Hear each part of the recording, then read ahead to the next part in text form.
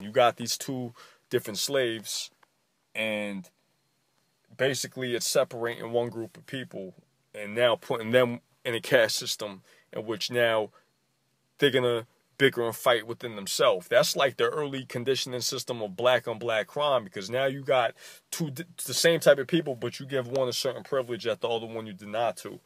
And what that does is like you got the house nigga thinking he's better than the field nigga. And looking at the industry, everything I've been doing with my filmmaking from Urban Rashomon to a film with the name of Antonyms of Beauty to now a film called Field Niggas is basically telling you Antonyms of Beauty was showing you like, yo, a lot of niggas that's young cat, young cats, young photographers, they're shooting beautiful women and beautiful things, scenery, landscapes, and a lot of shit that's just beautiful. You know what I mean? And I wanted to go against that by really going into the hood and expressing the hood, taking the hood off of the hood and just showing you the head. You know what I mean? That's why a lot of my pictures are portraits. You feel me? But with this thing now, you know, you got you got the house nigga thinking that he's better than the dude that's out in the field. You know what I'm saying? But the field nigga is on some trying to really get off the plantation, kill the slave master. You know what I mean? Nat Turner was killing the slave master's babies in the cribs. You know what I mean? And and and basically when you look at my photography, I'm dealing with the field niggas. I'm dealing with a group of people who live outside. You know what I mean? So they don't even literally have a house. These are the homeless. You know what I mean? and they don't work. They're in and out of prison, in and out of mental hospitals and regular hospitals, and I'm just there. you know what I mean? I'm just there document documenting it. I'm so street, and I got so much field nigga mentality. That's my foundation. You feel me? Coming through the five percent nation, dealing with the gods, dealing with just poverty, just seeing it from just an early age. You know, in and out of Queens, in, in and out of Jamaica, Queens, getting knowledge of self at the age of 14 years old and handling it seriously from an early degree in my life to now. I'm definitely a certified field nigga. But having knowledge of self, it's like I envision myself as Christ amongst the people that Christ would surround himself with. You know what I mean? And that would be the impoverished. And that would be those who lack knowledge of self but find themselves in a, in a circumstance that's fucked up. You know what I mean?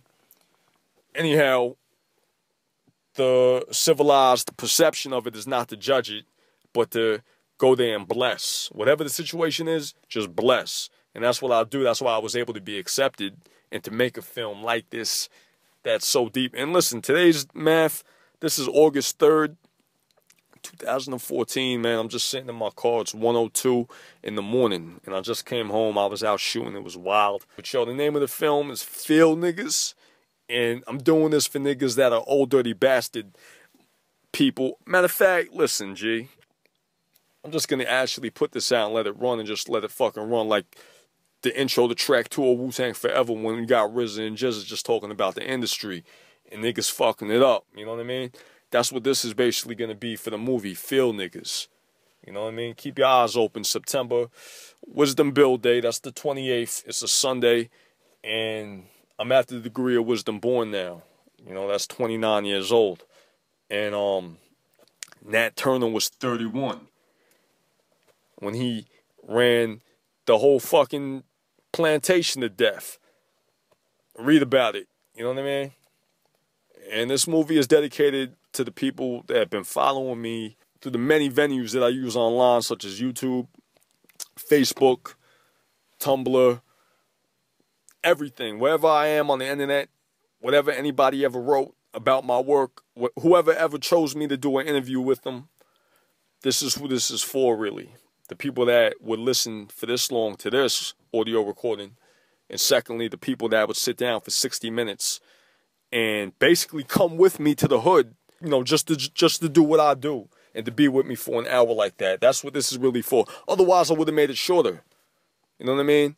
I would have made it fucking 10 minutes, 15 minutes. You know what I mean? Khamaica, I took you to Jamaica and that was 15 minutes, but that was perfect because that was timeless. So the 50, it wasn't 15 minutes. And that's how I want you to feel with this. You sit down, you watch field niggas, no matter what race you are, no matter what you are. You sit down, you just watch this movie, and maybe you got something to eat. Maybe you do it on a fast. When I edit, I get an eighth of sour diesel or whatever, the green crack whatever the good shit is, whatever the good smoke is at the time, and I'll just burn that down during the whole edit. So that's why I'm here pontificating, uh, you know, about this whole shit. But I'm off, alright? One, peace.